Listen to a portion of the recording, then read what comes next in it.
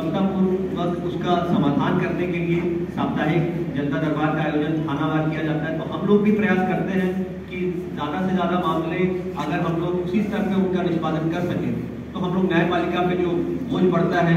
जो रोज ब रोज केस बढ़ते जाते हैं तो पुलिस प्रशासन पर या फिर जो वही न्यायपालिका पे बोझ बढ़ता है,